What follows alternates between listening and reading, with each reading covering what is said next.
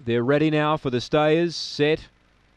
Racing, Bogey Beckham away well out wide. He's trying to get over, booting up Hookanui in box three. He's going to lead. Bogey Beckham over to second. Out the back, Caprice Manelli. So early in the race, Hookanui's got a two length margin. Now Purpose Driven got off the inside there, and she went through to second and forces Bogey Beckham three wide. He's up to third. Fourth, Springvale Carla. They're still chasing Hookanui down the back though. Beyond midfield, Roxy Roller, Springvale, Brennan, Caprice Manelli. Hookanui's come back to them. Purpose Driven looks to be the big day danger. Bogey Beckham has to lift. He's trying to. Underneath of him, Springvale Carla. Purpose driven reaches the lead, turning. Bogey Beckham trying to run on. Hookanui battling away, but purpose driven. She dashed away and she wins the heat. Bogey Beckham got going late and grabbed second, but the winner certainly had its measure.